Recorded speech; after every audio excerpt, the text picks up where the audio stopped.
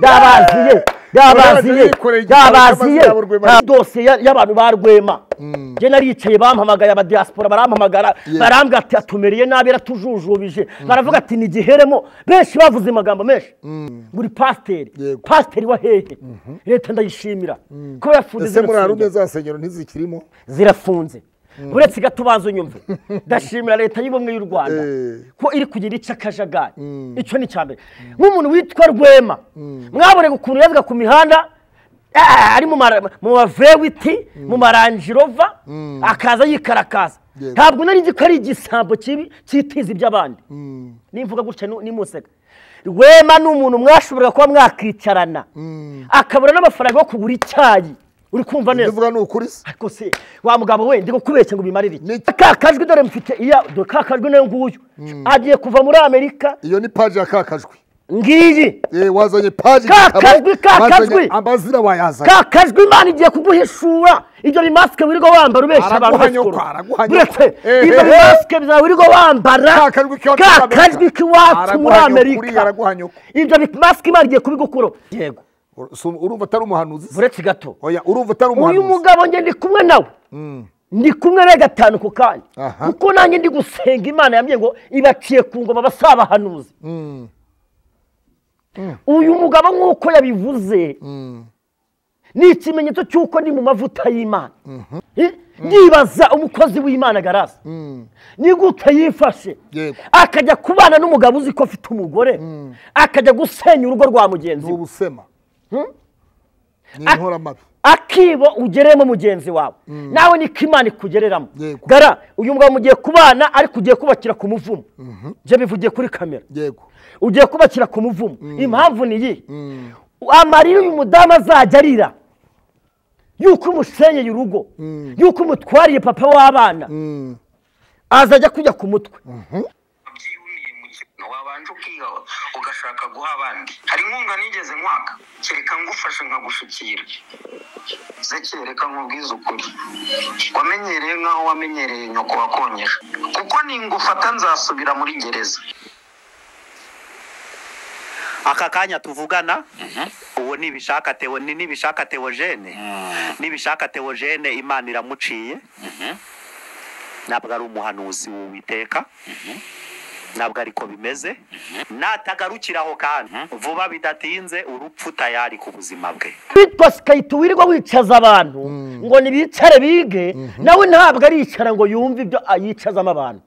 Icyo ni icya mbere. Gute rero sasa. Sikayiti we ubwe. Ubwe ni umwe mu bantu bakuriye kwa yago Yego. azanywe na yago mu mihanda. Yago aramugaburira yago amwigisha gukora. Yago amwigisha gukora umunwa. Amwigisha kuvuga. Amwigisha kubana n'abadiyasipora ndetse n'abanyarwanda. Amuhangira amakontenti agiye atandukanye. Amaze kubyimba yirengagiza ko imana yafashe umuntu witwa yago ikamukoreramo ngo amuzane mu mihanda. None ejo bundi yageze gutya baramushutse bamuhaye udufaranga ariko baratumwambuye agiye gusebya uwamugaburiye we nakita nk'umubyeyi we. Yego. Hanyuma nyuma arangije. Yasabye imbabazi ngo mbabarira. Ntabyumvishije ngo mbabarira ngo rwose ngo na bivuze ngo wowe wora uhindagurika ntabwo usaba imbabazi zivuye ku mutima. Ureba aho inyungu ziri. Sikayita niyo ndi kubwira. Yego. Nawe imana iguciye ku ngoma. Imana iguciye ku ngoma nawe. Vuba bidatinze nutagaruka mu murongo. Imbabazi zawe imana yambwiye ngo yazanze nawe. Kuko ntabwo ziri ari imbabazi ni imbabazi za nyarushwa izi mbabazi za ezekiyeli ni imbabazi za sikayitu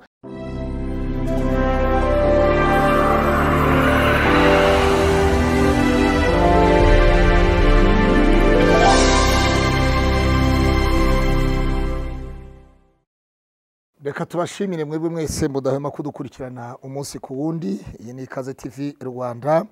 Kuri kamera turi kumwe na soyi kanatani hanyuma igihe mwumva ni pasita claude niyonzima. Ndagira ngo buri muntu wese rero ah, udukurikiranye ku ikaze tv dukomeze tukubwire tuti habwa umugisha ineza y'imana ikomeze kubana nawe wowe utanezerewe tukubwire ngo uwiteka aguhe kunezerwa kandi wowe urwaye cyangwa urwaje uwiteka akorohereze aguhe icyoroshye.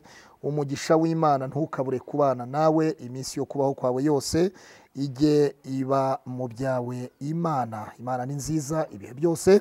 Hanyuma rero turi kumwe n'umutumirwa witwa porofeti noweli umuhanzi.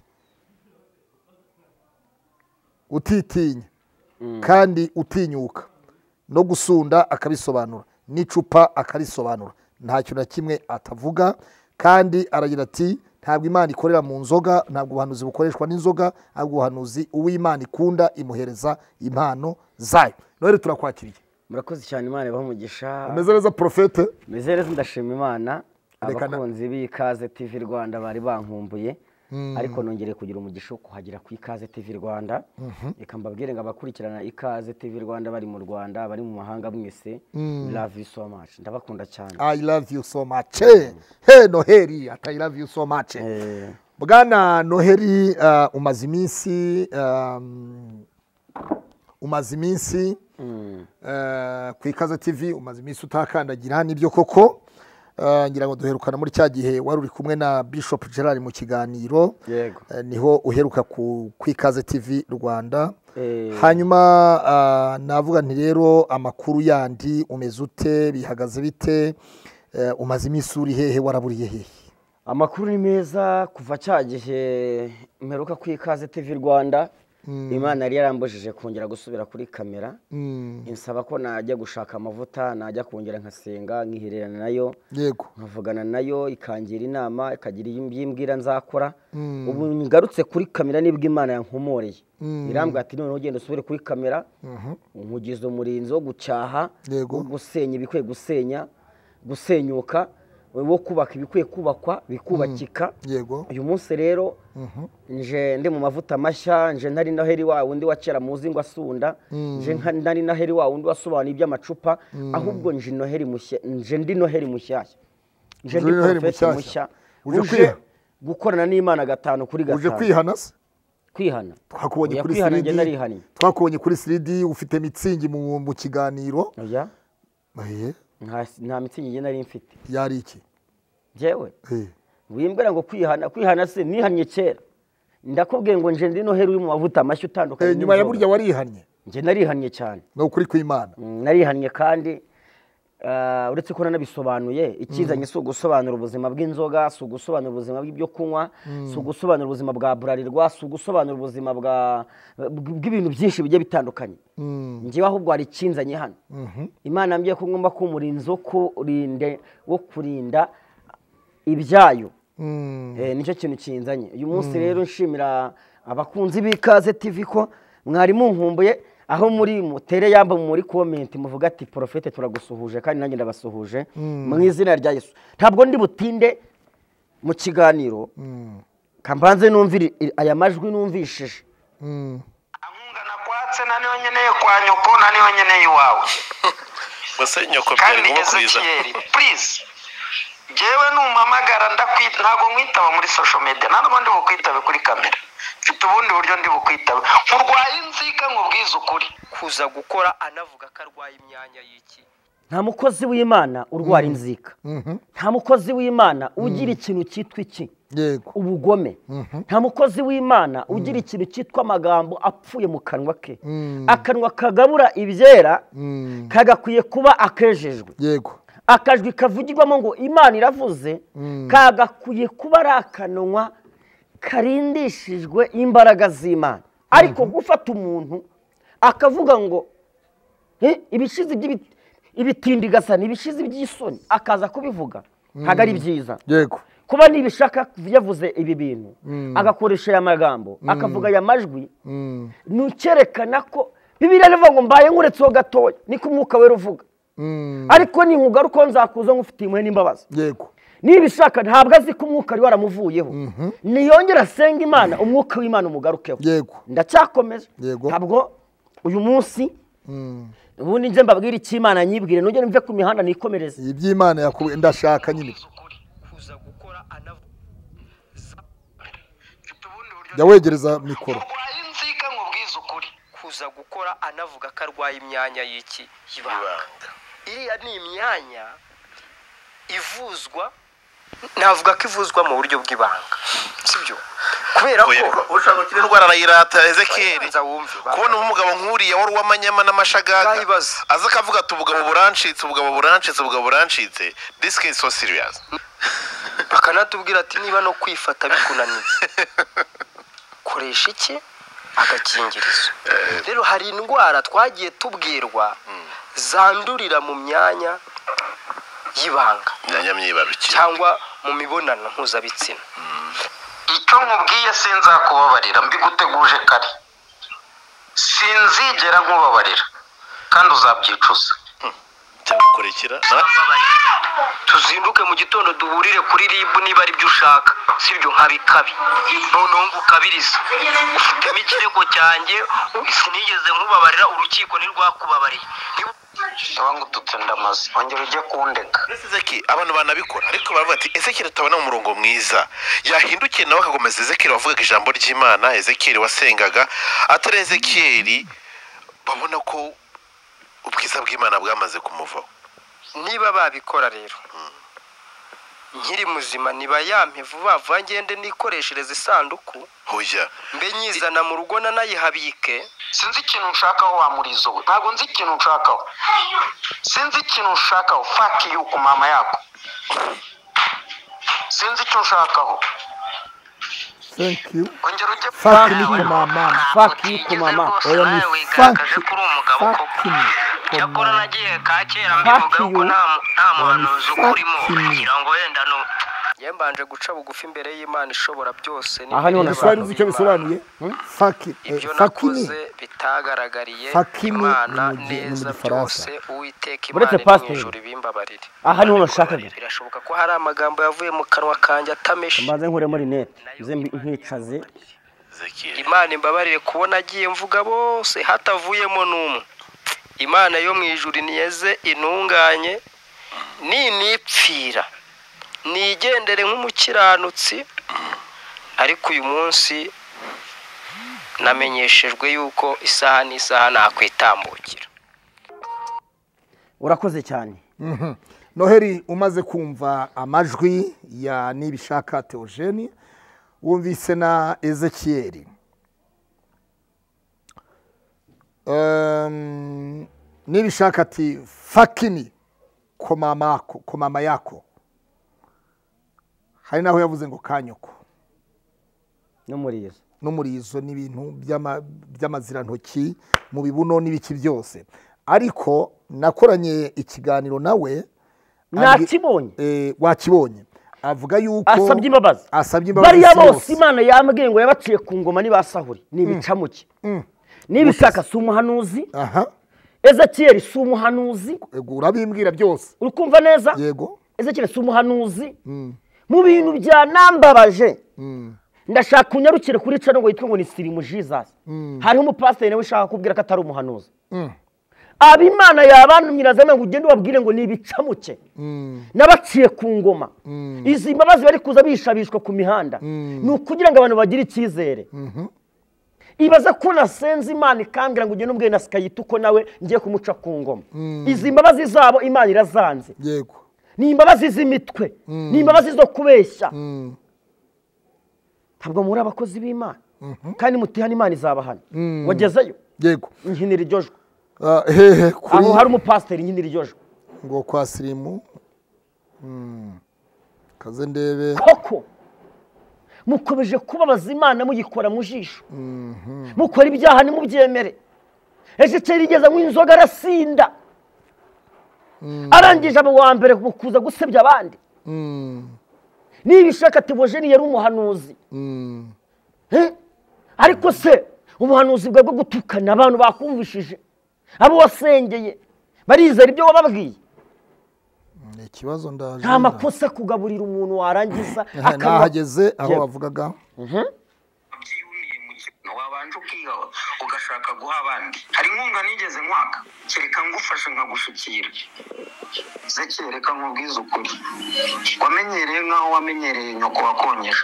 Kuko ningufata nzasubira muri gereza. Aka kanya tuvugana. Uwo nibishaka tewo ni nibishaka teogene nibishaka teogene imana iramuciye.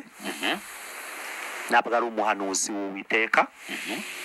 Ntabwo ariko bimeze. Natagarukiraho kandi. Vuba bidatinze urupfu tayari ku buzima bwe. Kopera. Okay uwo mugabo uramuzi ibyo uwo mugabo uramuzi uyu mugabo? Yego. Amerika bakaguhamagara baguhamagara uramuzi uwo mugabo? Uyu mugabo ni wa wundi. Wavuze ngo? Uyu mugabo ni wa wundi wavuze ko dore imbogo yego. natagarukiraho agiye gukenyuka. Gukenyuka. vuba bidatinze. Yego. Urumva atari umuhanuzi? Se? buretse gato. Oya urumva atari uyu umuhanuzi? mugabo njye ndi kumwe nawe. Mm. ndi kumwe na gatanu ku kanya. Kuko nanjye ndi gusenga imana yambwiye ngo ibaciye ku ngoma basabahanuzi. Mm. uyu mugabo nk'uko yabivuze Mm. Ni ikimenyetso cy'uko ndi mu mavuta y'imana. Mhm. uyu mugabo ndi kumwe nawe neza neza. Uhere ushingiye ku cyo uhereye ku cyo uyu mugabo ni umukozi w'imana. Kuko nanjye nahawe ijambo rivuga ngo nze mbwire abantu ngo izi mbabazi za nibishaka. Izi mbabazi za ezekiyeli izi mbabazi z'abantu bari kuza babeshya ku mihanda. Yego. ntabwo imana izemeye. Irazisira ibanze. Imana yamye ngo babanze bisuzume bigenzure. Bamenye ibyo bari byo. Mm. barebe aho imana yabakuye. Babone kongera kugaruka. Imana ifite agahinda karukunda ezekiyeli Mm. imana ifite agahinda k'umuntu witwa nibishaka teujene imana ifite agahinda k'umuntu witwa sikayito. Gute se? Ntucokoze ntucokoze kuko nazanye gahunda Eh. z'aba bantu nazizanye. Uwitwa sikayitu Mm. yirirwa agendana amakayi ngo yicaza abantu ngo nibicare bige. Muricara wige. Sikayitu umva mubwire nawe uramubwiye ngo yicare yige. Ah, niyicare yumve icyo imana imushakaho. Aha sikayita iva bidatinze ugiye gusubira mu cyaro. Ibyo wirirwa wiyemera ngo? Ngo wicaza abantu ngo ufite amafaranga. yarubatse ariko igasanze Ah, ah, buretse gato. Kandi mbivugiye aha natagarukira imana ngo ajye mu murongo. Arajya muri gereza. Mm. mbivugiye kuri kamera. Gute se? Gute se? Sikayitu abantu bari kugukoresha kugira nk'idebe idebe. Idebe idebe ritagira amavuta ri- ri- riri aho ngaho ba- bazunguza ni ukuvuga ngo idebe ritarimo ikintu yego ritarimo amavuta bakagushuka ngo ufate intoki zakugaburiye uziteme gute rero gute urugero kwa yago pondate yego sikayitu we baragushuka ati genda ugire gute kwa bumfaya yego bakagushuka ati nge- nge- dende karadinade ndekure re- re- rakete ni rokete nyirekure rokete cyangwa nyihorere oya yirekure oya reka ndekure rokete ni munini hahandi yirekura rokete niko bimeze. Uwitwa sikayita wirirwa wicaza abantu. Ngo nibicare bige nawe ntabwo aricara ngo yumve ibyo yicazamo abantu. Icyo ni icya mbere. Gute rero sasa? Sikayita we ubwe. Ubwe ni umwe mu bantu bakuriye kwa yago. Yego. azanywe na yago mu mihanda. Yago aramugaburira Yego. yago amwigisha gukora. Yago amwigisha gukora umunwa. Amwigisha kuvuga. Amwigisha kubana n'abadiyasipora ndetse n'abanyarwanda. Mm. Amuhangira amakontenti agiye atandukanye. Amaze kubyimba yirengagiza ko imana yafashe umuntu witwa yago ikamukoreramo ngo amuzane mu mihanda. Mm. none ejo bundi yageze gutya baramushutse bamuhaye udufaranga ariko baratumwambuye agiye gusebya uwamugaburiye.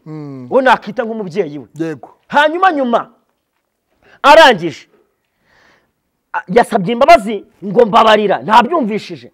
Ngo mbabarira ngo rwose ngo na bivuze ngo wowe wora uhindagurika ntabwo usaba imbabazi zivuye ku mutima. Ureba aho inyungu ziri. Sikayita niyo ndi kubwira. Yego. Nawe imana iguciye ku ngoma. Mm. imana iguciye ku ngoma nawe. Vuba bidatinze nutagaruka mu murongo. Mm.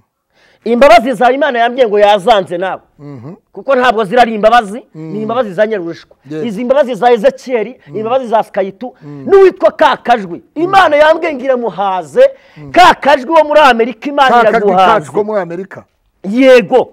Imana iraguhaze. Araguha nyoko buretse gatoya. Kakajwi nada kakajwi nakihana Reka ngo ajye mu murongo mwiza. Kakajwi. Ugiye kugaruka muri kigali? Uzi- indirimbo yaririmbye ngo banze uhehayo wane Ah, ah, buretse gato, njyewe ntabwo- ntabwo ndi ka kajwi. kakajwi kakajwi buretse mbanze mubwire mesaje ye. Natihana kujya kujya avuga ibigambo bipfuye. Yiyambitse biriya bimasike imana igiye kuguhishura imana igiye kuguhishura ibyo bimasike igiye kubikwambura. Ni ukuri kw'imana. Ndahimba bene stidi bini fozo Oui, vrere para manone dra. ceremone sign ndakumva ma ndakumva papa. Wi topita sti enema Oui. ka kajwi mugiye kubona ibintu bigiye kumubaho Mm, ka kajwi wo muri amerika. Mm. ntabwo ndi kugutwikira kuko ntabwo undusha izina. Yego. iki nkubwiye we ntabwo kaka ntabwo umurusha izina. Ntabwo ntabwo izina. akurusha izina. Cyane. Ye baba data twese we. Wari bwarebe ibiganiro akora ariko se watuje. Ah, ah, wari bwarebe ibiganiro ibiki akora se ndeba Ah, wari bwarebe ibiganiro bya kakajwi k'iwacu? Birimo amafuti? Ibiki? Nawe ubwawe nutajya mu murongo ukaguma kugendana n'aba ukaguma kugendana n'abantu badafite umumaro. Eh, abantu bahombeye imana ibihombo by'imana nugomba kugendana na byo. Urajyana na byo. Ka kajwi ni igihombo cyahombeye imana gihombera abantu. Kubera azi kuririmba. Ntabwo azi kuririmba. Mm, ikizi mugiye kureba ibigiye kuba. Uyu mwaka ni umwaka wo gusukura imihanda niko uwiteka yambwiye. Ngo nze mbwire abantu. Yego. Ni umwaka wo gutandukanya ikibi n'icyiza imana yarababwiye mugira ngo irababeshya irababwira mwanga kumva ikoresha abahanuzi mwanga kumva mugiye kwibonera ibigiye kuba. Be- Kandi vuba bidatinze. ni ibiki? Vuba bidatinze. Mm. ni ukuri urukungu n'amasaka bigiye gutandukana. Urukungu n'amasaka bigiye bigiye gutandukana. Njye mvuganye n'aba bantu uko ari batatu. Mm, ezekiyeli Yego. sikayitu kakajwi n'ibishaka. Ni bane. Nibatagarukiraho nibishaka ezekiyeli sikayitu. Yego na kakajwi. Na kakajwi k'iwacu buramenye ninjye ubivuze porofete noheli. Imana ihaza aba bantu. Babaye igihombo. Bahombera imana. Bahombera abantu. Bigira abakirisito barabanyunyuza imitsi bariba abantu. Eh, bakoresheje mayindi yabo ni ukuri kw'imana ariko imana irabihaza. Imana irabihaza. Ezekiyeli nutagarukiraho cano yawe igiye kuva ku murongo. Eh, ibi ndabivuze. Ezekiyeli nutagarukira ngo ugarukire uwiteka. Cano yawe igiye kuva ku murongo. Ubwa kabiri ngo cana igiye kugira gute? Igiye kuva ku murongo ubwa gatatu cana igiye kugira gute heti para widizi Witera. emando winidarayi natagarukira ngo yubahe uwiteka. Atandukane n'ibihombo. Byarumbiye imana kuko ni we yabaze kuba igihombo. Yego. Cano igiye kuva ku murongo. Noneho rosasi mbivugiye ko ngaha. Abo bose turabagarukaho mu kanya. Ezekiyeli nibishaka teogeni uyu mupasiteri urahanuriye dore imbogo sikayitu yago kakajwi garase. Garase uramuzi w'umuhanuzi. Ndamuzi. Umuzi ute ndi nijye muntu ubwanjye na nimero ndayifite ariko ubundi kusa tuvugana. kusa nawe garase se? Ko musa cyangwa ni we mwana w'imfura wa garase ntabwo nshya nk'abanyamafuti kuko ngenda uwo muhanuzi Ntabwo uri umwana w'imfura wa Garasi Kare, wowe. kare kare kare kare njyewe mama yapfuye mfite imyaka itanu. Ni urukinyamasheke cyangwa uguhira iyo ngiyo cyangwa niyo wanyu garase ntacyo mpfana nawe Mm, kubera ikizi ntabwo ngeye ibyo mpfana abanyamafuti abanyamakuza sinyagira ibyo mpfana ariko garase nyamara garase murasa kandi abantu ntibabireba baze kutubwira abantu baze kutubwira garase murasa dore ukuntu musa. Reka mukwereke. Ariko se ntumuzi ubundi? Garase murasa. uravuga garasi umubyini ubyina azamura ikibuno ni we uvuga Eh, garase do garase murasa garase murasa. Ntabwo nsa nawe. Umuntu asa na se agasa na nyina wamubyaye umuntu agasa nka se wabo. Njye ndasa nka data wambyaye nubwo nawe uhari cyangwa se mama wambyaye Mm, hatazajya n'umuntu ujya kubeshya abantu ngo mubwira mugenzi we ngo urasa nk'imana. Wowe urebye ubugome abantu bafite urebye ukuntu abantu bitwara nabi urebye ukuntu abantu bahemukira bahemukirana bagahemukira n'imana. Barangiza ngo urasa n'imana. Guteze mm, icyo nshatse kuvuga cyo abantu babyumva. Nari maze iminsi nari mu mihanda.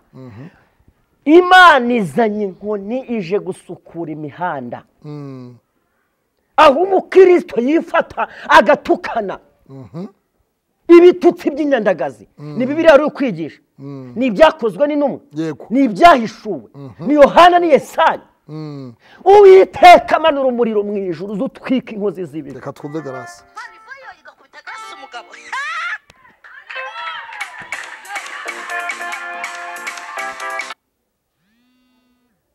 mani ikubita garase umugabo apose ndaje nkuvugishe gato gato mu minota mirongo itatu. Buramba mbabaye cyane. Mm, mhm. hanyuma eh, garase aragira ati imana iva hari ikazi igakubita gara musi mwitonde murabona ko nambaye impeta? Ninzajya ngira ntimuze kugira ngo nuke. Eh! zamura zamura tugirire yesu wacu sha nubwo ndi umugeni ndavuga pe! Ibintu by'ubugeni ndabivamo ikavuga ati mviyoye feruje kubera ikibazo grace yateje Ya, ya, ya, ya, ya, ya, ya. Ikaviyora. Ika- igakubita gasi umugabo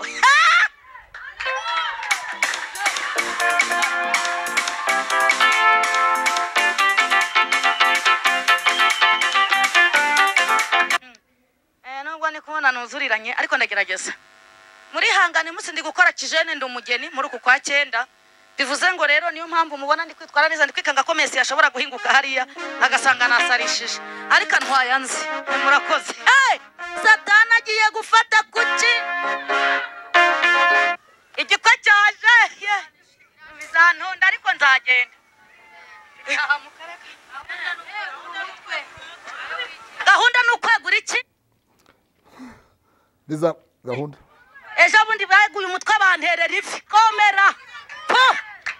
Noneho ukagira ngo ngo genda bamfuka uruntu mu maso. Ariko numvise bavuga ngo tera intambwe ngo ujye wahagarara. Ndavuga ni ahantu hari ikintu undi bukandagire tu. Ariko turashimira kirisito rero gahunda ni ukubura iki amen. Bagikuyeho numva bararirimbye bose ngo uwo muntu umukuremo twikomereza noheli uyu ni garasi garase njyewe ndamuzi ayobora icyumba cy'amasengesho ahantu bita waruwaza kwa mabure. Kwa mabure bishop emabure Mm, ni ho ayobora. Yego. Yayoboragamo umunsi wo kuwa mbere. Mm. ngira ngo mu bantu bafungiye nawe arimo muri iyi minsi. Yego. Ariko uwiteka ndamushimira. Reka maze nkumvisha akandi kantu. Akabigenderaho. Eh, abakobwa benshi bakunda kuvuga ngo njyewe ngo nzi imana itanga umugabo. Ya urayizi? Ariko ntabwo uvuga ngo njye nabonye imana itanga umugabo. Iyo wabonye imana muba mwahuye. Rero ndayishimye cyane ku bwa grace na efuremu n'abandi bavandimwe na gurupe ni ukuri mwanyeretse urukundo rwinshi. Uwo ni roje Mm, uwo ni roje wari kuvuga.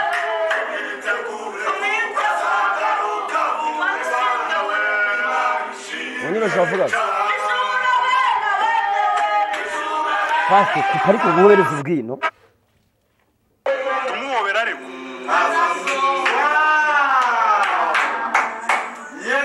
Tubanze wumve usobanure ibyo uzi wumvise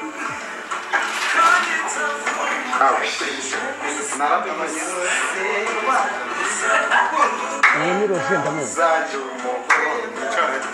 ni furere garasi narabizi ko tuziranye mbo aha reka dusoreze mu ntuze ibi yamutereye ivi amu- amubwira amagambo aravuga ngo mu buzima mu mateka.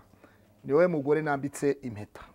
Bivuze ngo abandi yarateruraga yarayoraguraga urumva ko uyu afite umugore w'isezerano yambitse impeta basezeranye imbere y'imana basezeranye muri mu murenge wa kimironko basezerana no muri adeperi rukurazo. Ariko ijambo ryambabaje kuruta ibindi ni ivuga ngo mu mateka mu buzima ni wowe mugore nambitse impeta. Uzi ikintu navuga kuri icyo kintu se? Yego.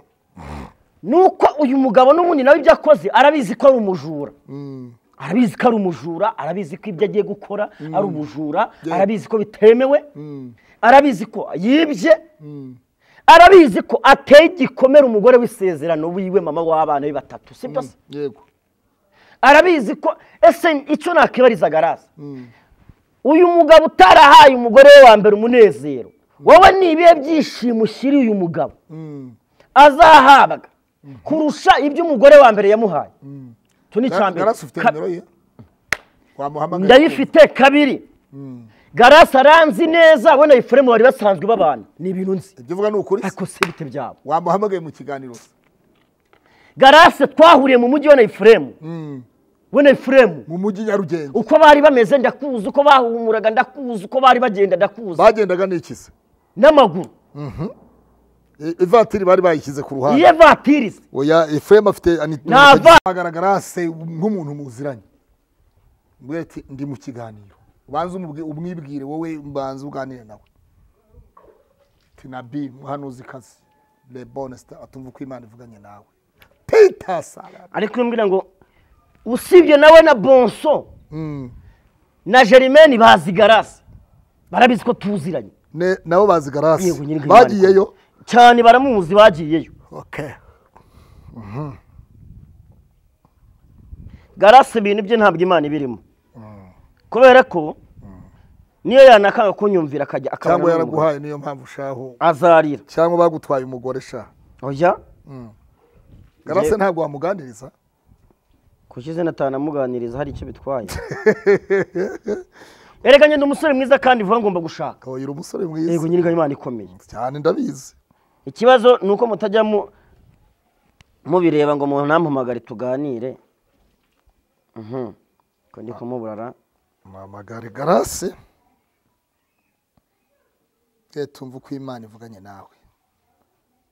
Uwiteka avuganye nawe ngo iki? Na bosi garase ndamubuze. Telefone yanjye manza ari mu elisa dati.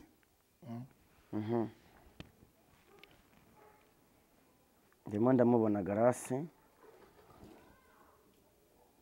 garase garase umukozi w'imana garase nubwo imijugujugu ari myinshi ariko n'ubundi agiye gutwarwa n'igisambo. Mm, Mm, birasi byiza bamukoreye.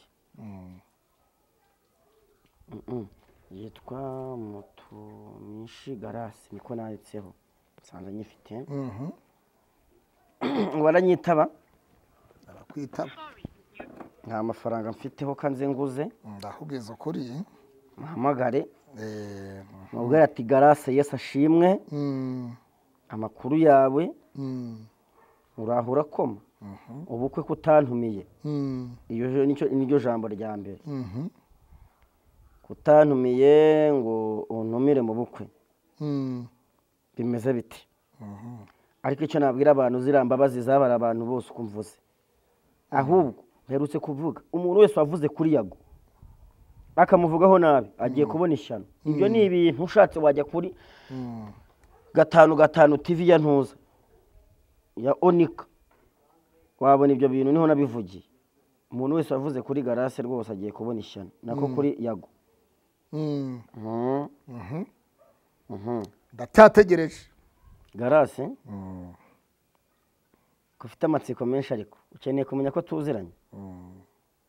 Cyangwa ni ibindi ukeneye? Iyi mihanda iranyerera abantu bajya bitonda. Yego aha. Reka twumve.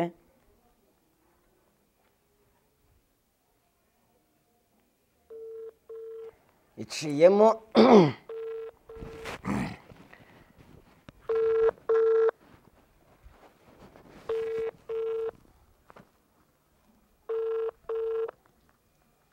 ntabwo ayifata arayifata buretse halo yesu ashimwe mutumisha igarasi kuri kuvuga gake nk'umuntu ni uko ugiye kuba umugeni. Hmm? halo eee ni porofete noheli muri kuvugana.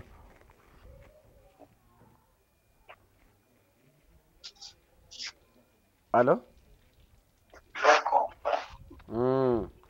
wananiwe wavuye mu ivugabutumwa unaniwe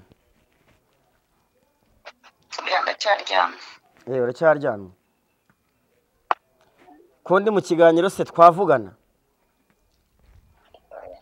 Mm? oya hoya. None se ko utantumiye kandi uzi ko uri inshuti yanjye koko? Ahise agenda. Amaze kugira ihahamuka kuko mumaze kumuhamagara muri benshi abanyamakuru. Eh, ndamubwiye ni ko kandi ko kandi sinakora ikosa ryo kuvugana n'umuntu cyane ntamumenyeshe ko ndi mu kiganiro. Sibyo pasite aba ari amakosa kuvugana n'umuntu utamubwira ati ndi mu kiganiro. Yego. Eh. oya ni byo umuntu mubwira ko uri mu kiganiro ni bwo buryo bwiza. Hanyuma rero ukagira rero turebe tuti reka duhamagare na jerimene tumubaze kuri garasi. Mm, sawa. Umugabo yari mbwemerera asubura Mm, kuba ki- atakigenga kereka ari wowe umubajije mubaze jerimene Mm, ngo- oya ntacyo we tubwira ibyo uzi icya mbere nzi. Ku muntu witwa garasi mhm, ni umwe mu bantu bashinze yutube no bwa mbere barayiba. Akora iya kabiri. Garase ni umwe mu bantu bavuye inanga bajya hanze.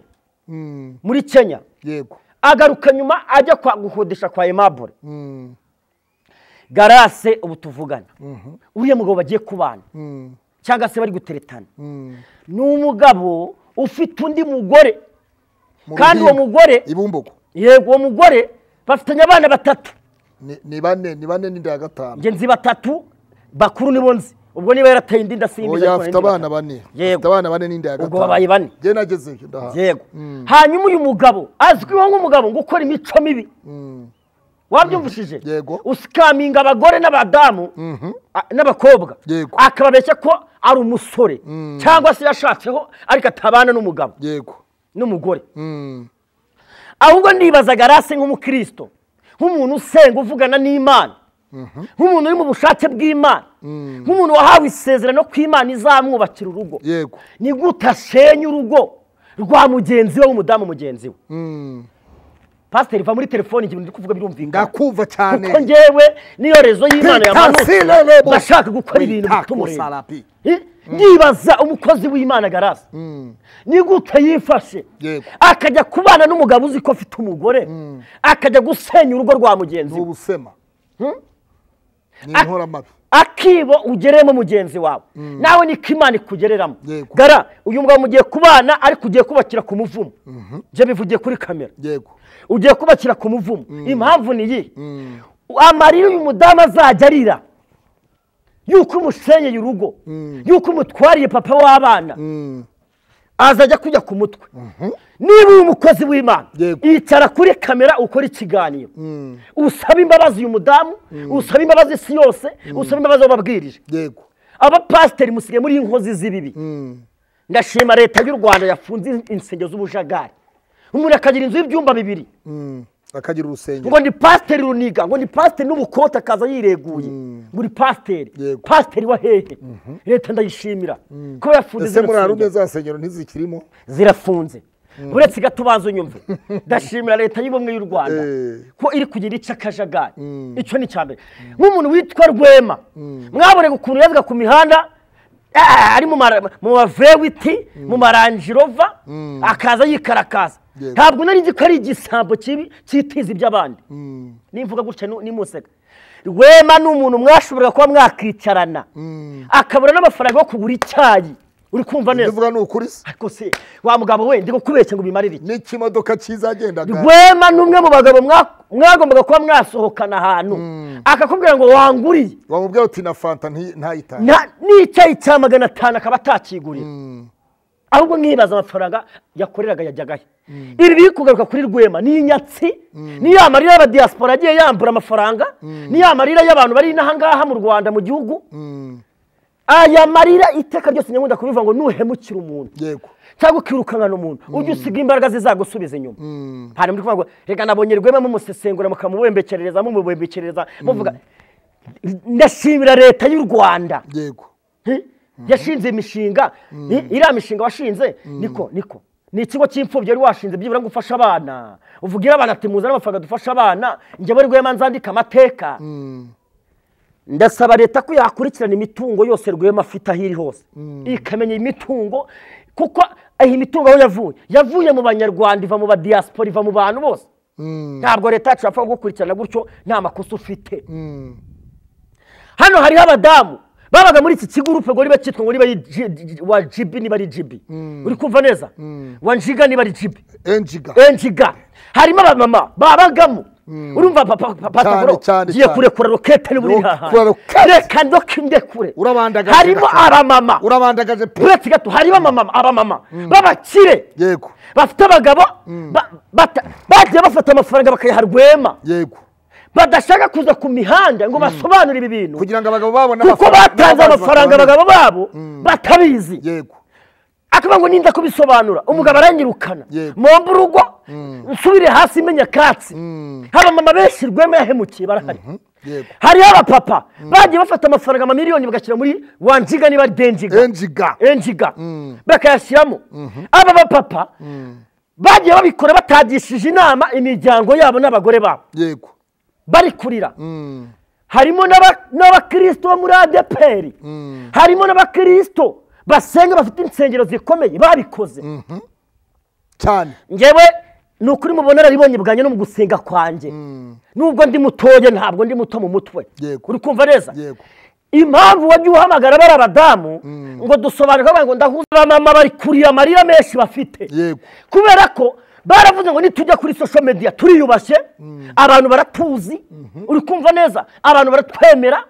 Ariko nitujya kuri social media. Tukavuga ibi bintu. Tugashinja rwema. Tukerekana amakosa. Tukazana amamesaje tutarabibwiye abagabo bacu. Baratwirukana badusenya. Intambara ziravuka ingo zirasenya ingo zirasenyuka.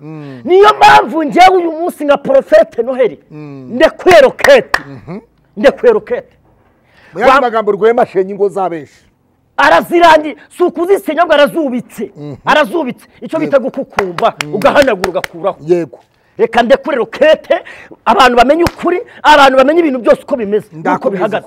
Mm. uyu rwema ni umuntu waje mu mihanda yigira umukristo Yego. aza yigira umwana mwiza aza. Yagiye ku kinyamakuru cyitwa isimbi tv yego asobanura ibya denjiga niyo denjiga Eh, ah, ku isimbi eh, enjiga Avuga ukuntu abantu- enjiga yabivuze kuri magisi no kwa irene. Ku isimbi ahubwo ya- yagaragaje imodoka. Yego. yapfunduye y'imodoka cyane. Yego. Ariko ijana na mwa bantu mwibaze mwibaze.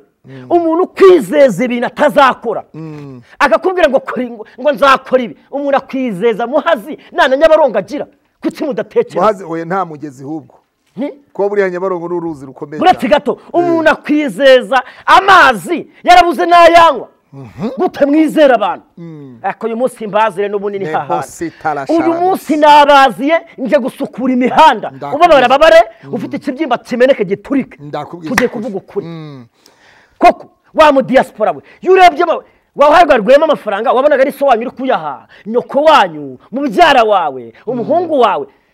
Ni imana ibahaniye ni imana ibahaniye. Niyo mpamvu mugiye kurira mukihanagura mukifata gutya bupfubyi kuko amafaranga mwatanze. Ntabwo hano hanze hari imfubyi nyinshi. Mwakabaye mwarafashije zikiga imana ikabaha umugisha. Mwakabaye mwarahaye ku mafaranga mukabishyurira amazu. Abantu barabasohora mu mazu. Kubera ubukene. Ariko wishyuriye umuntu inzu cyangwa ukamugurira inzu.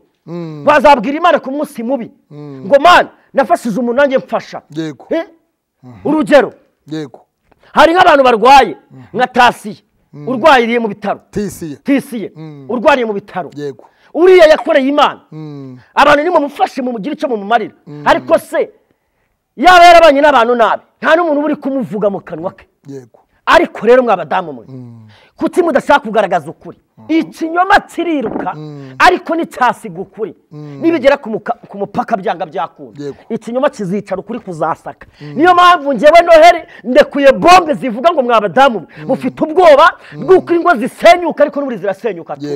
Byanga byakunda biraza kumenyekana. Ibintu byagezemo leta na yo uko nyizera ko leta ari na yo ikoreshwa n'imbaraga zo mu ijuru. Ibintu yinjiyemo na yo irabisobanura neza. Rero niba muzi ubwenge muvumiriye mukureho cyangwa mushyire ukuri ahagaragara n'ubundi nakura amakudapfa. Bigira inzira. Bigira inzira. Buri abanyamakuru barabahamagara ngo watubwiye ngo hoya ngo nyine ngo urabona ngo ndi kurepeta ukumva undi ngo ndi mu rusengero. Ukumva undi ngo ngo ngo ndi ngo ndatwaye undi ngo ndi mariyoti Yego. mwidukangisha kuvuga ngo muri muri- za mariyoti na hehe mushyire ukuri ahagaragara cyangwa se muhame hamwe.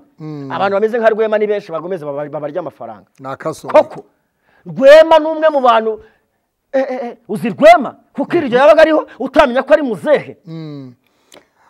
Rwema ah, biravugwa ko um, yagufa hari abamuhaga amafaranga ngo abagurire ibibanza bimwe muri ibyo byose ndagaruka kuri icyo kintu uvuze urakoze kunyibutsa ukoze hasi unyibutsa ikintu. uwitwa bosco impaya ni umwe mu bantu bamamaje ibi bibanza bya rwema. Ahubwo leta nawe imusange. Imubaze ngo relationship wari ufitanye? Na rwema ni iyihe kuba mwamamaje ku itangazamakuru? Yego ukajya ubwira abantu ngo niba ukeneye ikibanza ngo hamagara rwema ngo ngo ngo inyamata ngo birahari. Leta na yo ikurikirane bosco y'impaye imubaze neza. Ah, yarabisobanuye bosco? Yarabisobanuye. Yarabisobanuye atubwira yuko ari umuntu w'umudamu uba hanze. Nubwo atatubwiye ni umudamu uba mu Bubiligi ngire ngo. Ba- bamukurikirane bamenye imva n'imvano. Kuko bosco yari mu kazi. Sikoze ah, ijambo rikomeye njye nakunze yaravuze ngo utwitse iyo umuntu umuhaye ikibiriti ngo ashumike nyungwe. Ari uwamuhaye ikibiriti ari n'utwitse bose ni kimwe. Bajye mu gatebo kandi. ngewe ndekuye rokete Bosco- umwana Bosco w'umushi yari- rokete yeee tarazana wini Umwana mama. rokete ndayirekuye urumva ndayirekuye rokete aho yate tuvugisha ukuri. Aba bana bose ba- icyo gitabo wazanye ni cyo kirimo dosiye y'abantu munsi- yaririye amafaranga. Uyu munsi. Abantu bose bagomba kuba- gufatwa mu gatebo kamwe. Eh, ariko usa n'umurika ayo mazina y'icyo gitabo cy'intuzi. Hano inyuma. Oya dore nibarebe. Ndakubwiza ukuri. Barabibona? Eh, porofete nari naravuze ngo nkiri muzima nyihumeka umwuka bazima. N'ubundi ntacyo mwampaye tu- turebe ibyo bintu byanditse n'ikaramu. Ntacyo Sa- nabasabye. Sa n'ugira gutya. Dore dore nabaziye. Wabaziye. Nabaziye dore nabaziye. Dore dore dore dore dore. Urumva? Nabaziye. Uwa mbere ni sikayitu sikayitu icara wige wicaje benshi nanjye kukwicaza. Icara wumve. Uwa kabiri ni rukundo ezekiyeri ejo bundi abadayimoni baraguteruza mu kiganiro n'uburoso na korogate. Ucira buriyani uronda ucira jihadi wa mwana we wa mwana we. Imana Mosayi. nutihana. Oui. kuri kamera. Ndabivuze. turabagirane. ntawe njya iwabo nta n'uwo nsaba. Nta n'uwo ndabona yapininze nimero yanjye ngo hagere n'umuntu ushyiraho n'igihumbi. Niyo mpamvu uyu munsi nanjye ndayishyiraho uyu munsi. nabwiye abantu ngo imana irabaziye. Ntabwo ari ibyo pasita ntabwo ari byo. Urafata umuntu nka jihadi ukiborosa ati huhu ati ukikonkomora bisobanuye ngo ntabwo ari umwanda waciraga. Waciraga bariya abantu bavugagaho. Kabiri uwitwa kamarade mperutse kukubona mu kiganiro muri kumwe. Ntibarize n'ibintu yagiye ariko kuvugaho poya rwema ntabwo urayisoza Eh? kuko urabona wazanye amazina yabo yaririye amafaranga. Oya nabazanye? Eh, nabazanye uretse ko kubw'impamvu z'umutekano nari bubasome bo. Kirazira amazina y'abantu. Ntabwo mbasoma ariko do- iyi ni dosiye ya- y'abantu ba rwema. Njye naricaye bampamagaye abadiyasipora barampamagara barambwira ati atumereye nabi yaratujujubije baravuga ati nigiheremo benshi bavuze amagambo menshi. Rero niyo mpamvu mukaga gufasha njye. Ariko uyu munsi uze gupininga nimero yanjye abantu nimero kuko uyu munsi uyu munsi nje kubwiza abantu ukuri. ndayishyiraho. uyishyireho banyohereze kuri zeru karindwi umunani zeru gatanu kabiri mirongo icyenda mirongo inani. Bandemere bangurire isukari. Uyu munsi rero nabazi. Nawe ka kajwi dore mfite iya dore ka kajwi na yo nguyu. Agiye kuva muri amerika. Iyo ni paji ya kakajwi ngiyi Eh, wazanye paji Ka igitabo, kajwi, ka wazanye kajwi. amazina wayazanye ka kajwi imana igiye kuguhishura ibyo bimasike wirirwa wambara ubeshya abantu Araguhanyuka, bose araguhanyuka. uretse Eh, ibyo bimasike byawe wirirwa wambara. Ka kajwi k'iwacu muri Amerika. ibyo bimasike imana igiye kubigukuraho ka kajwi dore afite indirimbo avuga ngo ngiye guha umuntu ngiye kumuha nyina. Arakuririmbira Ah! ka kajwi nyuma y'iminsi itatu nutamamagara cyangwa unyandikire urahura n'ibibazo. Kuko nabibonye arahura n'ibibazo? Yego. Mu minsi itatu? Kiriya kimasike imana igiye kukimwambura Mu minsi itatu. ka kajwi nushaka nutihana ni ukuri ko imana uzarimbuka arahita avuga ati ndapfuye! Arapfa bivugwa uko mubizi ka kajwi afite ibibazo Eh. kajwi ntacuri cyo?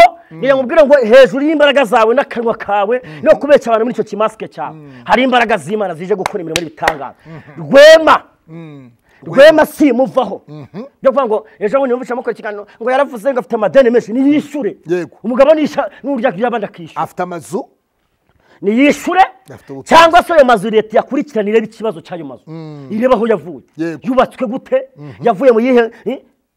afite amazu ntiyishure Yego. kubona umugabo nka rwema wirirwaga ku mihanda uzi ko yari reba ukuntu rwema yambaraga? Eh, yanaregezaga. Utagira ngo hari ibintu by'imikino. Yadeziga babyita kudegaje akaza ahumura wagira ngo ah, ni marayika uvuye mu ijuru sha? Naho noheli arimo arihiringa sitiriti agasima kankubise byanshanze wallahi. Ku ndege. Ku ndege. Ku gasima, umubumbe wabaye danje. Eh, rero icyo navuga rwose abantu mwahaye rwema amafaranga. Mwe guhamagara abanyamakuru ngo iyi ni bogisi ngo niba babwira ngo tujye kuri kamera mutange ibimenyetso n'ibihamya leta na yo ibone aho ihera mukanga. Yego? Wowe urafata umunyamakuru ukamuha amakuru gutya inyuma ya kamera. Wamuha amakuru n'imbere ya kamera byose ukavugisha ukuri. Rero ikibazo, ni imana irabaziye abesikoro abatekamutwe mbwira n'abantu ba- bajijuke. Bizeye bareke kwizera abantu. Yego. Ariko uzi umuntu ukubwira ngo nzaguha iki kintu babyita kwizeza umuntu ikintu utazakora. Eh, kwizeza umuntu ikintu kwizeza umuntu ikintu utari bushobore nawe ubwawe bugikore kugi- kuri bugikore ugishoboye ariko ntugikore. Ah, kwihesha umuntu iki- kwihesha ikintu cy'undi ukoresheje uburiganya mu gifaransa ni escroquerie. Ubwambuzi bushukana. Cyane. Nizi- uko babyita babyita ubwambuzi bushukana. Yego. wowe ushingiye ku bantu baguhamagara baba diaspora bo mu rwanda bakubwira bati noheli buriya rwema yaratuyogoje yaratumaze yatuririye amafaranga tubeshya ko tuzakora investimenti tuzubaka amazu ah, tuzagira gutya tumwohereza amafaranga. Nta byangombwa yari bwabone nta buzima gatozi ntaki ni- atarishyira noheli arababaye aranarize no kuri kw'imana birababaje. Nta kundi. Noheli biravugwa ko watubwiye uti harimo n'umuntu wirusiye w'ibutare w'umudamu yaririye amafaranga menshi. Cyane. Ati kandi uwo muntu yajyaga aku- agu- akujugunyiramo isukari. Uyu mumama yanyemeraga. Yakwemeraga. None ati amafaranga yanjye rwema yarayariye yarayamaze. Njyewe icyo navuga. Yego. Kuri rwema. Rwema leta ibiretse kukurekura. Ibanza ikemura ibibazo by'aba bantu ibiretse kumurekura. Cyane. Ntiyemera kubishyura se. Eh aho ni sawa. Ntiyemera akavuga ati ngiye kwishyura. Nindamuka afunzwe gufungwa. Nk'abadiaspora bo. ninjya mageragere nta kintu biri bumare mageragere simbishyura ariko ndamutse ngiye hanze nakubita hasi hejuru. Rwema ngashaka yariye uburyo amafaranga ahubwo inda- ziranarya yariye amafaranga arongera arya ifaranga. Yego. Rwema w'umusesenguzi rwema w'umunyamategeko ah, wavuze ko jean paul ari umuntu utareba kure ah, yagiye akora ibintu bigize ibyaha yavuze ko yongwe yakoze ibintu yagiye akora ibintu bigize ibyaha. Rwema kuki yakoze ibintu bigize ibyaha kandi ari umunyamategeko? Kandi ari nawe umuyobozi. yarahuguraga abandi. Yica itegeko. Icyo nshimira leta. Leta nireba ngo uri umuyobozi nireba ngo ushinzwe iki nireba ngo ukora iki. Iyo wakoze ikosa ko mbona upfa ushimye no gupfukama wapfukama. Ntanapfukama nshimira leta. Leta ndayishimira. Ndashimira ribu. Ndashimira leta ribu ndagushimiye. Imana izaguha umugisha izaguhozeho. Ndashimira. Ndashimira umuyobozi wacu. Ni ukuri kw'Imana. papa w'abanyarwanda perezida paul kagame. Ni ukuri kw'Imana. ezigezi egiserensi his excellence urumva ndamushimira. Ko ubuyobozi bwiza dufite mu rwanda. Yego. iyo ukoze ikosa niyo waba uri umuyobozi umeze ute? Buraguhana. Ribu ndayishimira. Leta ndayishimira. Abayobozi bo hejuru ndabashimira. Abatoya ndabashimira. Ushimishwa nuko mugenzi wawe rwema afunzwe? Oya oya. Akanejejwe yuko uti atahe asanga umugabo ababa kureba abana azashaka uburyo yishyura wowe unezezwa nuko hari abavuga ngo noheli. Ni ikirara. N'ubundi ntacyo yari ari cyo. Eh. ariko ndashima imana ko naho n'abigira abanyabwenge yagukozeho Nabo babajyana. Eh, yagukozeho akasamutwe oya. Bya biramureba nawe ubu ngubu ahari ari kumwe n'imana n'abantu. Wamusengeye se bikagira inzira? Ntabyo musengeramo niyishyure niyishyure amafaranga y'abandi. Erega amafaranga ni nk'abandi? Eh, siko mukina mwebwe neza neza. Niyishyure. Ah, noheli mu by'ukuri eh, bibiri iravuga ibaze ngo kwica itegeko uri umuyobozi. mwene so nasonza umugaburire narwara umuvuze niyambara ubusa umwambike. Kujya utambika mugenzi wawe rwema nk'umuntu wari perezida w'imihanda. Mwambike? Mwambike se murusha amafaranga? Yo yari yo yari yayamara. Aya mamiliyoni yari yayamara. Ngo mwambike. Njye ndimo ndihiringa bariro kunsora mu nzu ya senkani habuze n'uwandemera muri iyi mihanda. Warangiza ukamenya ngo ninjye kwambika. Ndambika iki? Bashobora ah, imana ifite inzira nyinshi zirenga igihumbi buriya iyo wifurije neza mugenzi wawe wenda imana dore isengesho ndi busenge ntabwo ndi bujyane namwe pasita Eh, urumva? eh, njye bundi banyita porofete noheli noyiji. Wabyumvise neza? Profete noheli noiji yego.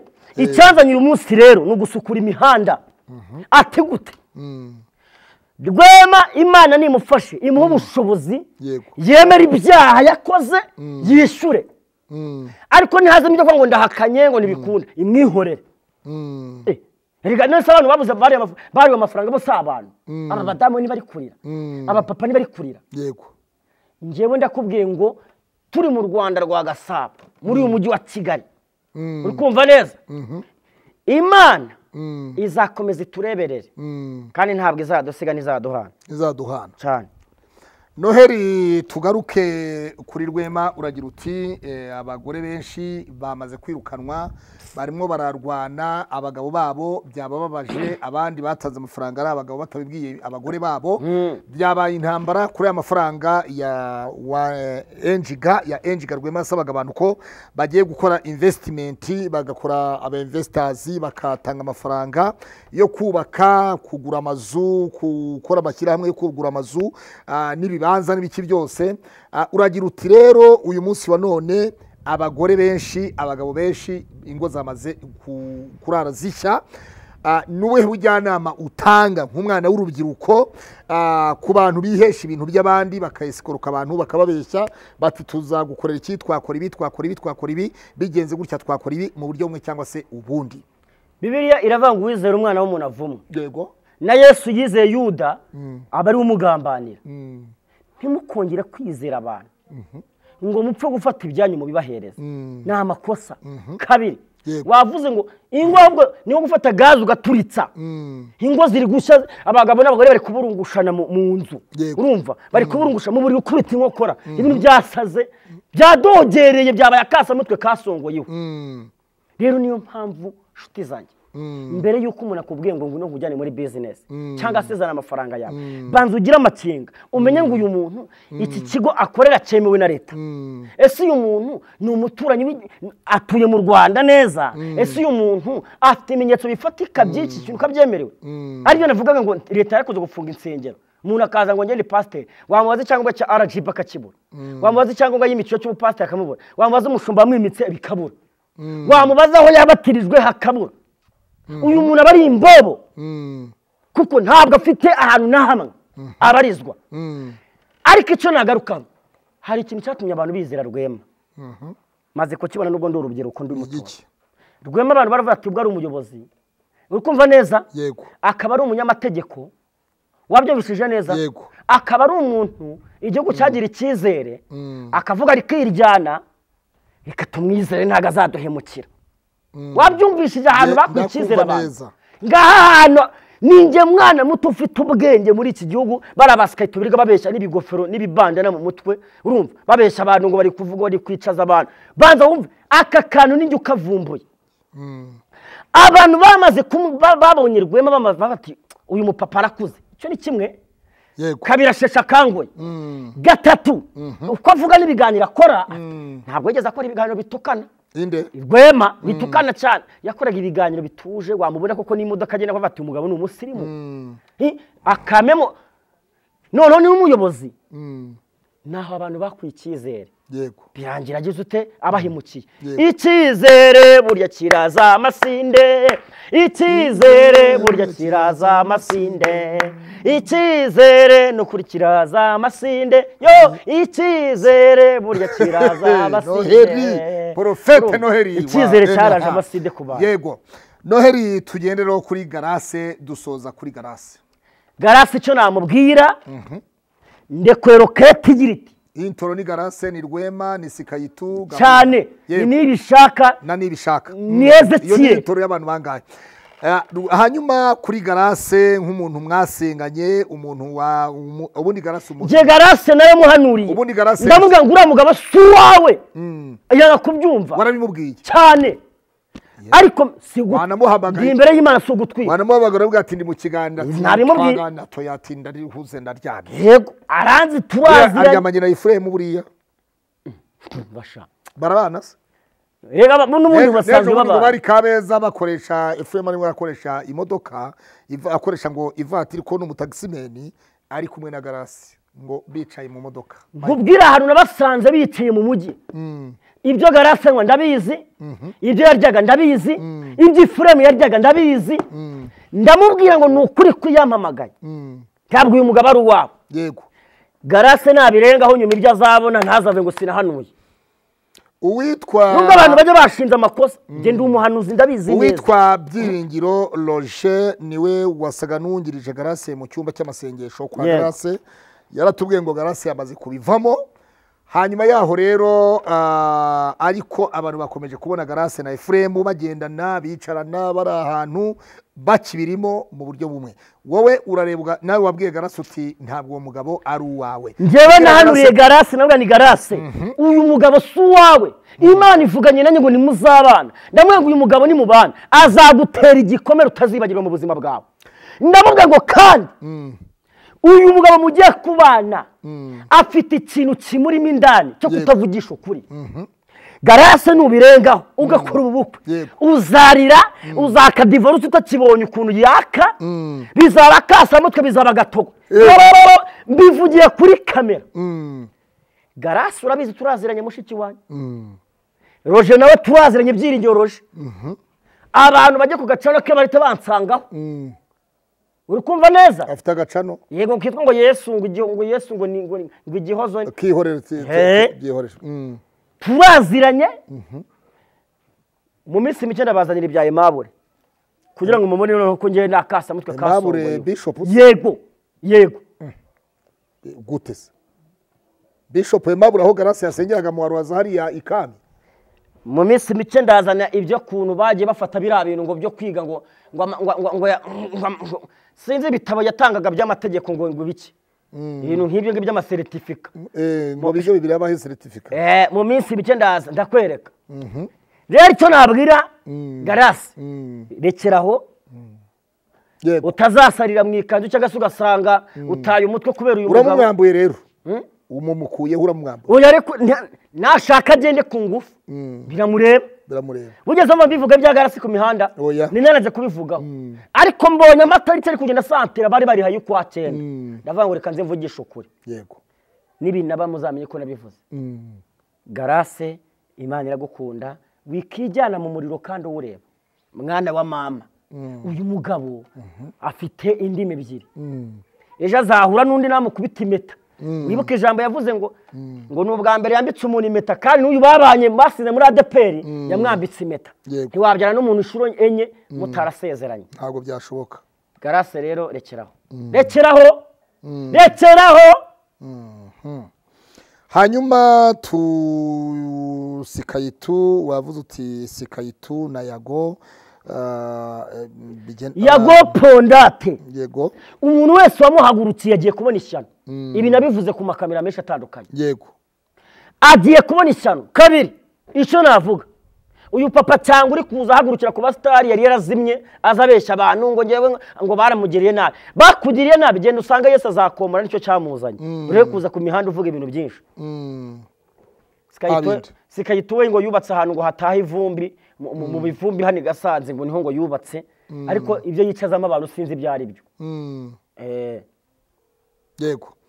Hanyuma hari reka turebe tugire ibyo byose turakomeza tugire. Sikayitu yasabye imbabazi yago aravuga ati mu by'ukuri yago nk'umuji w'umutawuneri ndamusaba imbabazi. Ati kubera yuko namuvuzeho mm, ati namuvuzeho ati ariko ni gahunda zita ati namuvuzeho ibintu bitari byiza. Imana yambye ko ziriya yago buretse kubabarira bubaretse bari kukuryarya Yego. izi mbabazi ntizemewe. Mm, kugeza ubwo njyewe umuhanuzi nzakubwira ngo nasenze imana irambwira ngo bababarire. Mm, ni indyarya zishaka kuguta mu mutego mm, dore ezekeri yaje bwa mbere akwesukoroka ngo yaguhanuriye. Yego. Ezekeri nabo ntabwo ari umuhanuzi. Nta muhanuzi utukana. Na nibishaka si abahanuzi bariya. Abantu mubanze mu- mumenye ubwenge mumenye abantu mwizera abarimu yego. Izi mbabazi bari kwisabishwa rero ntabwo imana izemeye. Mm, yago uri umwana mwiza itabagwe wavuye ni kure. Kandi urabizi ko imana yagu- waba uzi indirimbo ivuga ngo mama dola sinigeze nikoza nimbari ngo nkunde nkorerayo madolari ariko winjije wikozayo kuko umugambi w'imana si uw'ejo. Eh, si uw'ejo. Eh, rero umuhungu w'itabagwe yago bakureke uriho umugambi w'imana abakurwanya bakuveho kandi ube maso izi mbabazi zose abantu bari kuza bisabishwa ku mihanda nibishaka ngo imana imbabarire izekere ngo imana imbabarire eh, siketu ngo imana imbabarire n'abandi n'abandi ngo imana imbabarire izi mbabazi zanyu imbabazi z'abantu babi bazisaba by'agateganyo waba utaranaruhuka bakongera bakakugora ngo twari twibeshye twarahubutse. Mm, eh? Mwitondere mube maso. Mm, kandi ubwo ndabirangije. Wumvise pasita koro mm, iyi mihanda iraza kunyererana abantu benshi. Hmm? koko? Abantu bata indangagaciro za gikirisito bibiliya iravuga ngo ku bwanjye nzabyikorera nta cyatuma izina ryanjye ritukwa cyangwa se ngo rikorwe n'isoni. Hmm? imana iri ku buzima bwacu kandi izatugirira neza. Mm, kandi reka mbabwire bibiliya iravuga ngo dore kuba maze imana ibwira umuntu iti dore kubaho uwiteka ni bwo bwenge. Kandi kuva mu byaha niko kujijuka. Kuva mu byaha niko kujijuka. Niko ijambo ry'imana rivuga. Abantu bava mu byaha bajijuke bareke kwizera abandi bantu bizere ijambo ry'imana. Bizere imbaraga z'imana bizere ubutabazi bw'imana imana irakora imana iracyakora imana yabanye na daniyeli na isaka na yakobo na n'uyu munsi iracyakora rero reka mbwire abantu ngo aba bahanuzi b'ibibuno niko bibiri bita imana ibakure abahanuzi b'ibibuno imana ibatabare ibakore ku maso mumenye ibyo murimo kandi ijambo rivuga ngo iyo utazi iyo uva ntushobora no kumenya iyo ujya bantu kuki mutumva yego my friend Mm. umubumbe ni danje. Mubumbe ridanje umubumbe ni danje. Yego. Hanyuma noheli twegereje umusozo. Ni ubuhe butumwa uha ezekeri na nibishaka? Mu mbabazi nibishaka yasabye. Ezekeri n'isi yose muri rusange avuga ko yatukanye ngo ba nyina ba iki? Ibintu nk'ibyo ngo ibi ziriya mbabazi nibishaka yasabye- ni ubuhe butumwa urimo uratanga? Ntabwo ari zo. kugira ngo abantu bamenye ko ah, ibi bintu biri siriyasi nakora ikiganiro yicaye kuri kamera. Avuga ati mwari munzi nk'umuhanuzi yego. Naratukanye mvuga ibishizi by'isoni nandagaza umunyamakuru. Yego. Imana imbabarire nawe mbabarire. Undi nakora ikiganiro avuga ati njye nsabye imbabazi.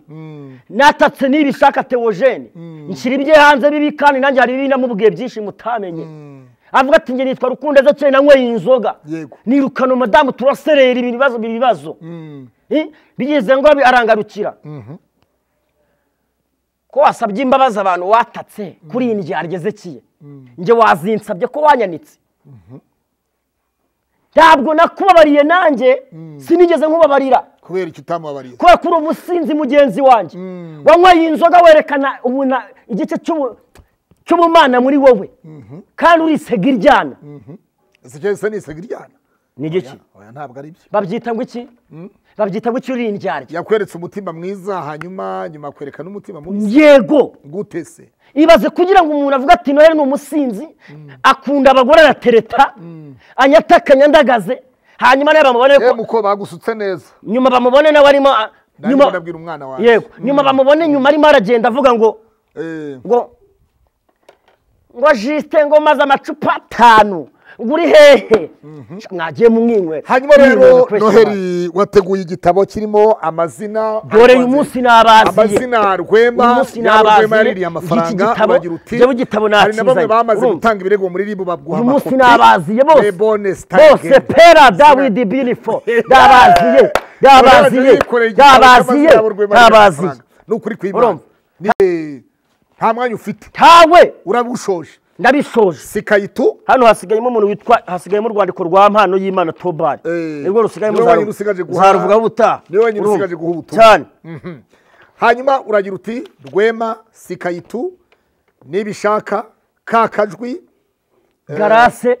Garase yego. Ezekeri yego. Nabo ngabo. Ntabo wari wafashe na kamarade ariko kamarade wamuhaye imbabazi ubwo nawe umufitiye umunsi wiwe. Hanyuma rero noheli harimo urwandiko rwa kamarade n'urw'amano y'imana. Hasigaye kamarade na mpano nibo y'imana. Basigayemo muri ahangaha muri icyo gitabo muri iki cyawe. gitabo cyanjye. Eh, ni ukuri nibo kw'imana basigayemo hano Ah, hanyuma icyo gitabo rero ndabona kiriho n'idarapo ry'igihugu umubumbe w'igihugu njye nkunda u na rwanda. Ndi center. umunyarwanda ndabona hariho na umwana w'u Rwanda, ndi center. imfura y'u Rwanda. sa nugira gutya turebe. Abantu mumbabariye mu ndebe. Uruhande gutya ndakubwiza ukuri. abantu munandemere kuri ya nimero nabahaye. Eh, hanyuma noheli rero reka tugushimire ku bw'ikiganiro cyiza uduhaye. Ah, ufite ubwenge ntabwo uri umusazi. Ibyo uvuze niwo bivuga. Uri umugabo ufite indangamuntu uri umugabo ukuze uzi kwitangira ibitekerezo kandi uzi kureba kure ugatanga ibitekerezo. Itegeko ry'u rwanda itegeko nshinga riravuga ngo umunyarwanda wese afite uburenganzira bwo gutanga ibitekerezo. eh, cyangwa se mu bimukorerwa mu byo abona apfa kuba atabangamiye ituze rya rubanda. Rero turagushimiye imana iguha umugisha noheli abantu bakore sabusikarayibu like na komenti noheli wa nimero wayitanze turayandaza kuyishyiraho. Eh, ahasigaye isigaye amahoro y'imana akomeze kandi ucumujwe n'iki kiganiro cyangwa uri bwumve ibintu bitari byiza yihangana mbabarire. Ciao ciao. Eh.